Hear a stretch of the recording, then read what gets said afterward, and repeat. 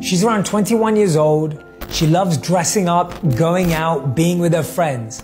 She enjoys nights out, weekends away, and dinners with people she loves. But she's constantly insecure about how she looks. Hey guys, so I'm gonna show you an everyday look today. It's something that I do literally every morning. Okay, bye.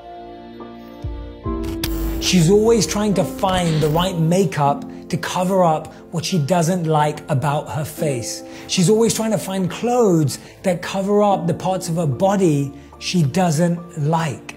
She's constantly focused on what she looks like, forgetting to think about what she feels like. So I just finished my 30 minute session. I feel so relaxed. We're so aware of how we want our face and body to look, but we should become more aware of how we want our mind and heart to feel. The more we're obsessed with changing from the outside, we neglect the real change that is required inside. Changing from the outside looks better. Changing from the inside feels better. And changing from the inside usually results in a change on the outside too. We've all been around those people.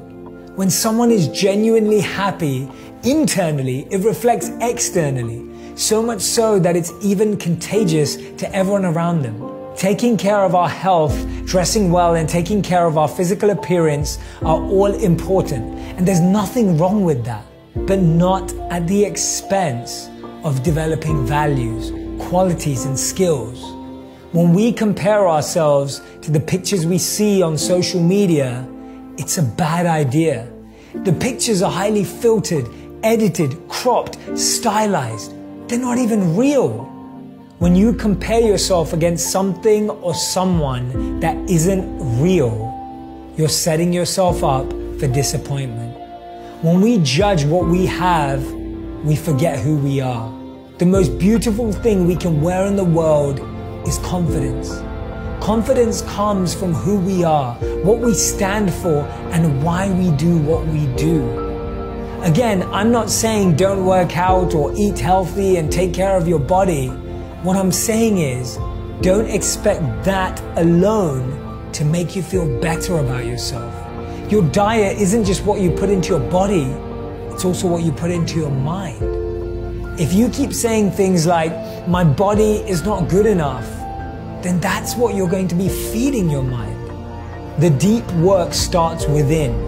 When we recognize we have unlimited potential, when we recognize we have a purpose, when we recognize that we are enough, when we realize we are enough, everything changes. We stop relying on external things to build our internal self esteem. We have to fall in love with the sound of our feet walking away from things that are not right for us anymore. Because remember, no amount of makeup, clothes, or shoes is going to change how you feel about yourself.